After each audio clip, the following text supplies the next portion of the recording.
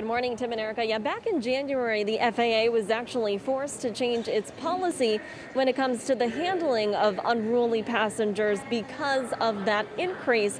They used to give people a warning, but starting in January of this year, they began taking legal action immediately. So passengers who interfere with physically assault or threaten to physically assault anyone on the airplane could face up to $35,000 fine or spend some time in prison. Now, the FAA releasing its latest numbers this week on unruly passengers over the last year.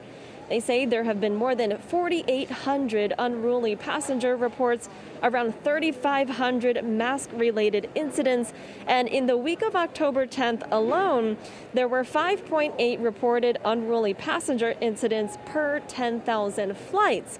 But since the FAA started to crack down on these cases, they did some public information messaging. You can see on this graphic that the number of incidents have continued to decline since that January spike we were talking about earlier. Now, this morning at Bradley, we caught up with one couple traveling for the first time in two years, and they tell us that they're not too concerned about someone acting out, but of course, they are aware of the problem. I'm not. I mean, it's it's pretty far in the back of my mind. I don't expect any problems. I know I, I like to expect people to do the right thing, right? Uh, assume good intent, but it doesn't surprise me uh, that with the amount of anger that we see.